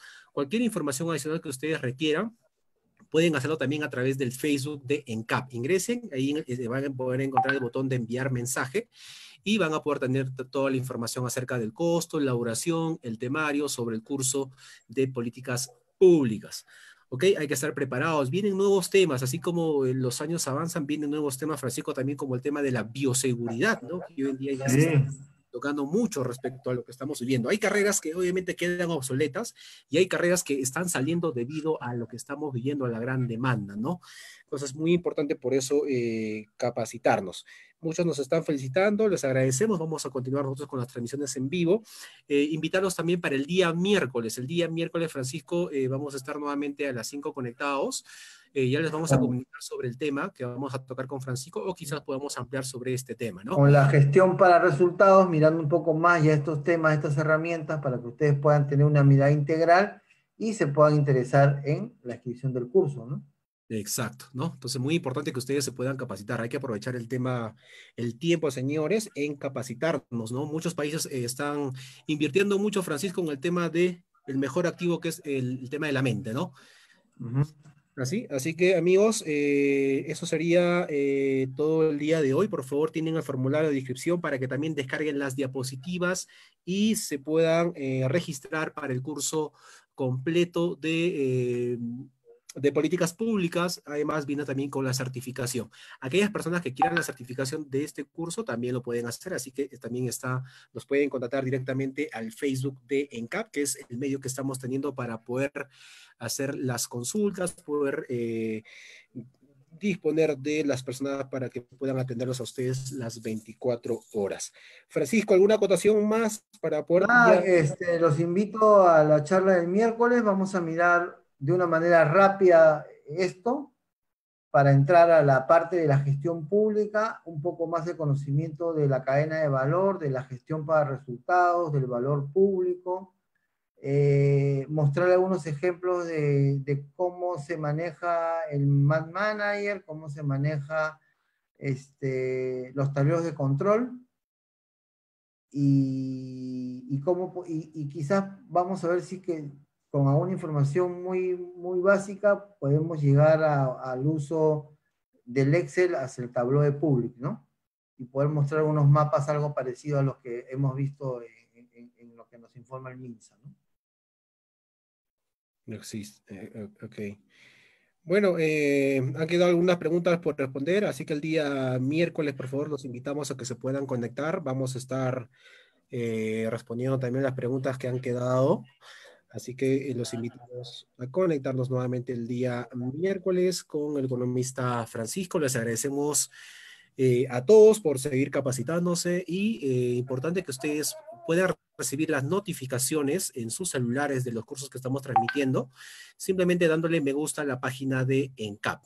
Me gusta y seguir y con eso van a estar recibiendo en primera línea las notificaciones. Bien amigos, muy agradecido a todos. Gracias también por los comentarios. Eh, siempre estamos tratando de tocar temas de acuerdo a la coyuntura, ¿no? Es decir, a, lo que estamos viviendo. Vamos a estar tocando también diferentes temas como el teletrabajo, recursos humanos, las TICs, eh, eh, que hoy en día es muy importante que ustedes puedan manejar en estos tiempos de coronavirus, ¿no? Ok, muchas gracias Francisco y el día miércoles estamos nuevamente conectándonos mediante esta esta, esta misma vía. Ok, muchas gracias. Me despido de ustedes y, espero verlos el día miércoles conectados también. A la misma hora. Vamos a estar conectados desde las 5 de la tarde, así que están invitados a conectar, conectarnos y tocar diferentes temas. No se preocupen, las diapositivas están en el formulario, por favor, ingresen y regítense y van a poder descargar el formulario. Nos vemos el día miércoles.